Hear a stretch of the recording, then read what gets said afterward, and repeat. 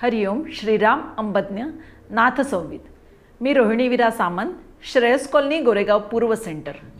मी बापूंकडे एकोणीसशे अठ्ठ्याण्णवपासून येते. मी आत्ता जो अनुभव सांगणार आहे तो माझ्या भावाचा अनुभव आहे. माझा भाऊ राजापूरला राहतो श्रीकांत प्रभुदेसाई नाव त्यांचं. त्याचं लग्न झालं होतं एकोणीसशे सत्त्याण्णव साली. आणि त्याच्यानंतर लगेच माझं लग्न झालं एक तीन चार महिन्यानंतर. पाच वर्ष त्यांना बाळ नव्हतं. त्याच्यामुळे त्याच्यासाठी त्याची ट्रीटमेंट चालू होती. ट्रीटमेंट त्यांनी काही वर्ष रत्नागिरीला घेतली.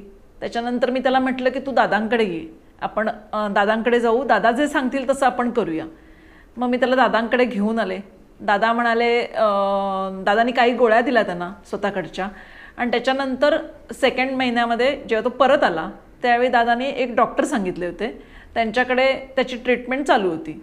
मग तो दर महिन्याला यायचा ट्रीटमेंटला आणि गावाला कसं असतं ना की प्रत्येक वेळी सगळेजण त्याला विचारायचे वहिनीला माझ्या की अजून नाही का तुझ्याकडे काही अजून नाही का तुझ्याकडे काही न्यूज असं प्रत्येक वेळी विचारल्यानंतर ती थोडीशी डिप्रेस व्हायला लागली की कधी होणार मला? मग मी एकदा दादांना विचारलं दादा आपल्याला बापूंचं दर्शन मिळेल का ह्या दोघांना? तर दादा म्हणाले का नाही आपण नक्की तुम्हाला हे करू. आणि त्याच्यानंतर पुढच्या महिन्यामध्ये ज्यावेळी ते आले ट्रीटमेंटसाठी तेव्हा बापूंचं दर्शन घेतलं बापूंना विचारलं. दोघांनी आशीर्वाद घेतला बापूंचा. आणि बापूंना मी विचारलं बापू कधी होईल यांना बाळ? बापू म्हणाले होईल नक्की होणार. तर बापूंना म्हटलं बापू कधी होईल पण? बापू म्हणाले कधी होईल बाळा सांगता येत नाही पण नक्की होणार. तू काही काळजी करू नकोस. आणि बापूंनी एक प्रसाद दिला त्यांना. तो दोघांनी तुम्ही घ्या आणि व्यवस्थित होणार काही काळजी करू नका.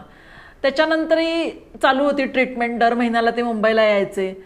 नंतर असं सारखं येऊन येऊन दर महिन्याला येणं शक्य होत नाही ना रत्नागिरी येऊन मुंबईला येणं.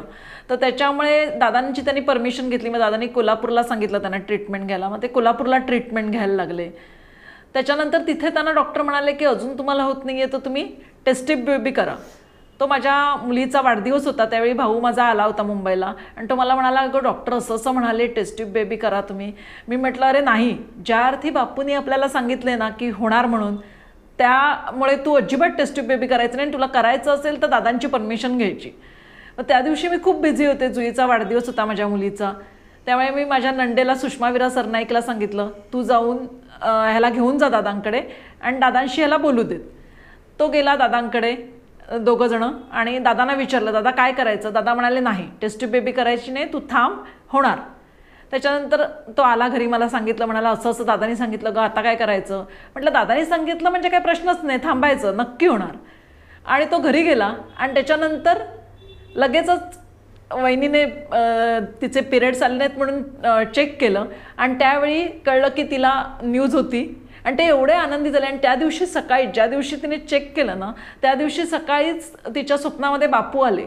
आणि ती बापूंच्या पायावरती हळद कुंकू घातलं तिने नमस्कार केला असं तिच्या स्वप्नामध्ये आलं. त्यामुळे ती उठल्यानंतर म्हणाली की बापूंनी सांगितलंय होणार. दादानी सांगितलंय ज्या अर्थी टेस्ट बेबी करायचं नाही. आणि होणार. त्या अर्थी आणि बापू स्वप्नात आले. म्हणजे आज आपण टेस्ट करून बघू. म्हणून तिने त्या दिवशी टेस्ट केली आणि ती पॉझिटिव्ह आली. आणि आज माझा भाचा दहा नववीला आहे. बापू श्रीराम अंबज्ञ नाथ संवित